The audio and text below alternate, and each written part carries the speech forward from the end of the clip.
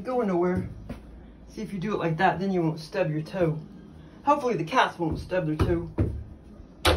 See, ain't going nowhere. We're not scooting a little bit, but going no damn where. Perfect door stop. Of course, you don't have to make it that long, but I'll cut it off soon though. Hey, this is really weird too. All of these were very, uh, they were spotless and very clean a couple weeks ago and they had been that way for a month or longer. You know, I had cleaned all these out. And then I, I mowed the yard last, I don't know, a couple Saturdays ago when it was raining or whatever. Came inside and there was, you know, I got grass and stuff on the kitchen floor.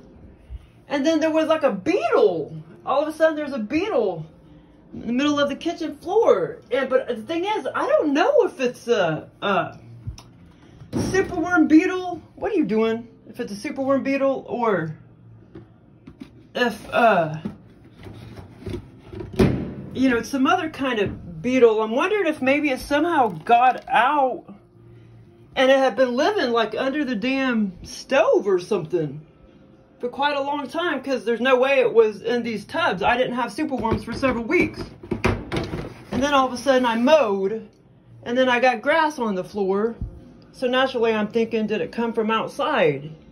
But it sure does look like a superworm beetle. I'll have to look at those other uh, videos to make sure it's a superworm beetle. Or is it some other kind of beetle that looks like a superworm beetle? But anyway, see, so I kept it as a little pet and put it back in here. It's acting just like a superworm beetle. It's my little pet right there. Oh, they'll live like six months to a year. So yeah, so because there's no way it came from that thing because this was all, all of the tubs were spotless and they had been that way for quite some time.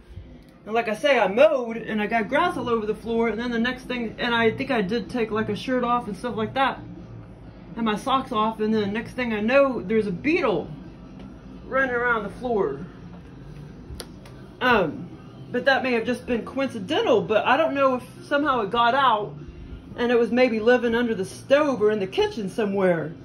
That superworm beetle. But like I say, I don't know if it's a superworm beetle um, I think there might be other beetles that look just like that, but I'll have to go look at my other videos and look on the internet to see if that is a super worm beetle.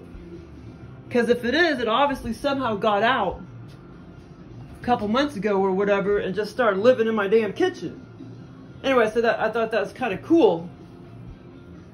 Ugh, man, I just ate a bunch of chocolate and now I'm not really that hungry. But I, I just don't want to eat chocolate for uh, dinner. So I'm gonna put some cheese on that. But that's probably all I'm gonna eat. It's a pretty big potato.